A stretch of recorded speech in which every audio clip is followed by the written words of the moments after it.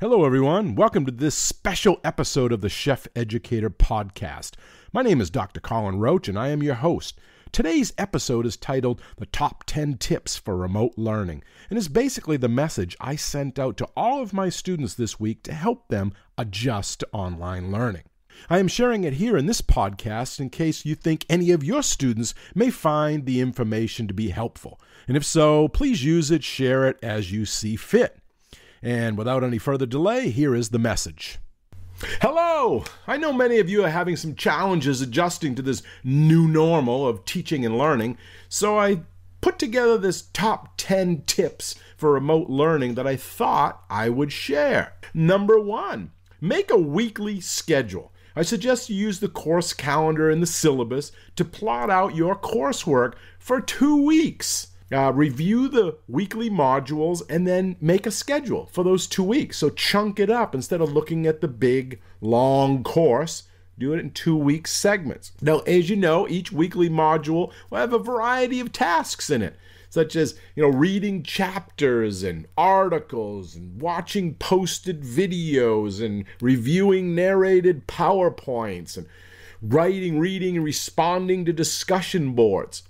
So make a schedule for yourself based on each of the class course expectations. So find your classes, find the course expectations, and kind of find the schedule and chunk it up. Plan to start that coursework ahead of the due date as well. If you wait for the last minute, or you know, for an online class, it's going to be difficult for you to accurately estimate how long each task will take. So start early so you have contingency plans.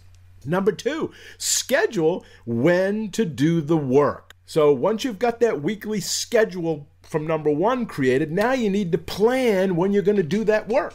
When you no longer have a specific day and time that you need to physically go to class, you can turn on your computer and go to class anytime you want.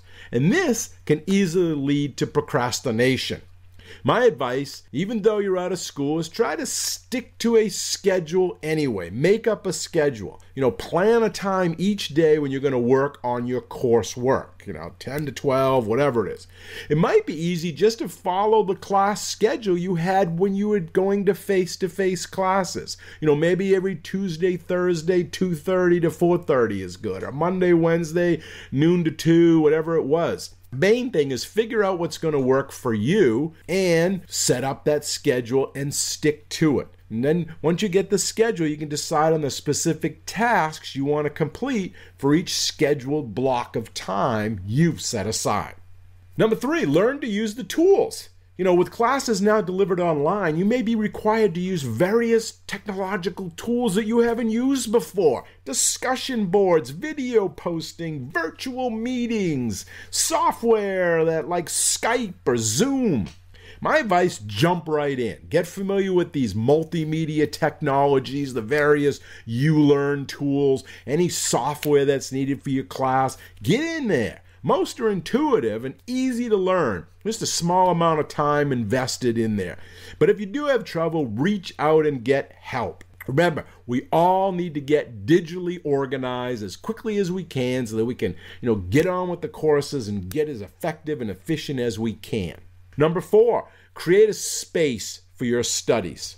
When you're away from school and the traditional study spaces such as the library or classrooms, it's essential for you to create a study space area at your home.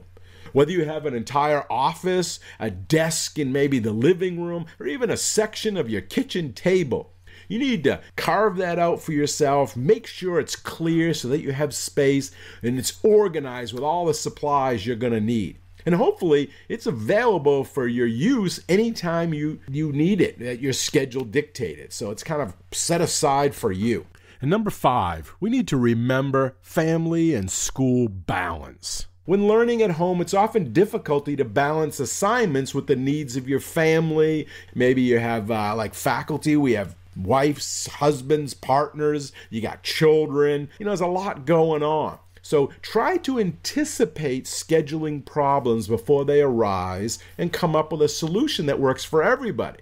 You know, majority of you are going to have siblings that are home. They're all trying to get on the computer, the Wi Fi, they're trying to get their own space for their work. So try to anticipate those scheduling problems in advance and work something out for your household. Number six, stay motivated. This is a tough one. Online learning can present different challenges than if you were in the classroom. You know, it's easy when you're feeling burned out and tired of staring at the screen to stop working, you know, to maybe go off and do some social media, do some Facebook, do some Instagram. But remember, don't try to stay focused for that scheduled time. And remember, everyone has good days and bad days. The key is to keep trying, don't give up. And some ways to stay motivated include staying connected with your classmates, which is number seven. So, seven, as I just mentioned, is stay connected. Make an effort to stay connected to some of your classmates, as this can not only be rewarding academically, but also socially. Remember, you're all going through this together and to try to keep each other on track with the work and the assignments while also giving you someone to talk to besides your family or whoever you're sheltering in place with. Now, many of your teachers and classes have set up areas that you can go to to collaborate, you know, to meet remotely with your classmates and to work on class projects as well as socialize at the same time. So take advantage of these. Number eight, discuss what you're learning. Take your learning outside of the class and maybe talk to a friend or a relative who's interested in the topics you're studying. Tell them about what you're learning in all of your classes. You know, explaining or teaching the content or material to someone else will help you understand the information better and may help motivate you to keep working through a course. So pick a time when maybe you can share, maybe over the dinner table, when you're with your family. Hey, what did you learn today? What did you learn today? Share and discuss. It helps it, it helps break it up from being so remotely just yours. And number nine is chart your progress. Setting goals for yourself in each class can be very helpful from a motivational standpoint. Tell yourself, I want to get a B on the next quiz or assignment, or maybe do it for the whole course. I want to get out of this class with a 90 or above. Then, whenever you're feeling unmotivated, you can think about these goals. You know, periodic evaluation of your progress can help keep you on track. So set some of those goals, chart your progress as you go along. And the last one, number 10, ask for help when needed. So important. I can't stress this enough. We're all in this together and we need to help each other whenever possible.